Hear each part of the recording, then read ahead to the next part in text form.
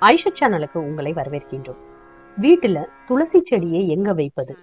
பல பேருக்கு இந்த சந்தேகம் இருக்கு. அதற்குண்டான பதிவு தான் இது. ஐஷா சேனலை சப்ஸ்கிரைப் பண்ணிக்கோங்க. பக்கத்துல இருக்கிற பெல் ஐக்கானையும் பிரஸ் பண்ணிக்கோங்க.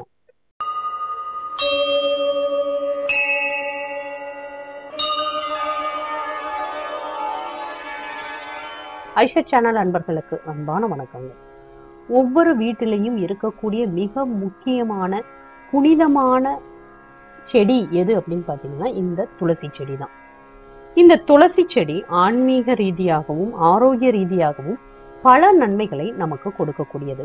ஒரு வீட்டுல துளசி செடியானது எவ்வளவு செழித்து வளர்கின்றதோ அந்த அளவுக்கு அந்த குடும்பமும் செழிப்பாக செல்வ நிலையில் உயர்ந்தும் இருக்கும் என்று சொல்லப்படுகின்றது. ஒவ்வொரு வீட்டிலையும் அந்த காலத்துல எல்லாம் பார்த்தீங்கன்னா முற்றத்திலேயே துளசி செடிகளை வைத்தார்கள். இந்த துளசி செடியானது அதிக அளவு ஆக்சிஜனை வெளிக்கொணரக்கூடியது. சுற்றுச்சூழலுக்கு மிகவும் ஏற்ற ஒரு செடி அப்படின்னு பார்க்கும்போது இந்த துளசி செடி தான் இந்த துளசியானது நமக்கு ஆரோக்கியத்துல பல வகைகள்ல உதவுது.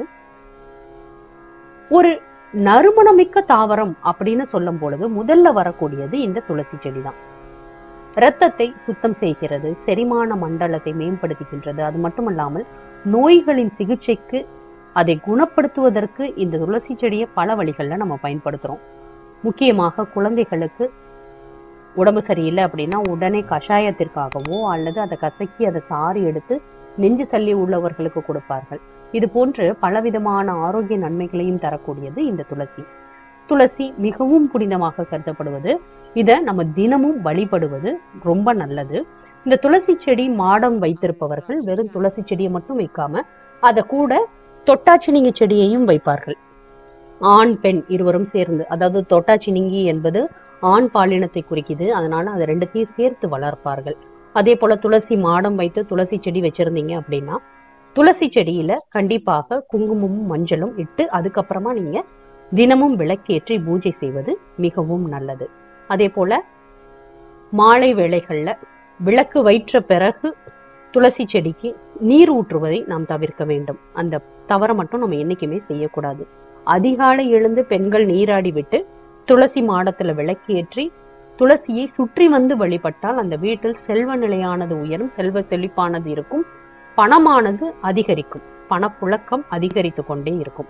இது போன்ற பலவிதமான நன்மைகள் துளசி செடிக்கு இருக்குது. லக்ஷ்மி வாசம் செய்யக்கூடிய இடம். ஸோ இந்த லக்ஷ்மி வாசம் செய்யக்கூடிய இடம் செழித்து இருக்குது அப்படின்னா அந்த வீட்டுல செல்வமும் செழித்திருக்கும் என்பது நம்பிக்கை.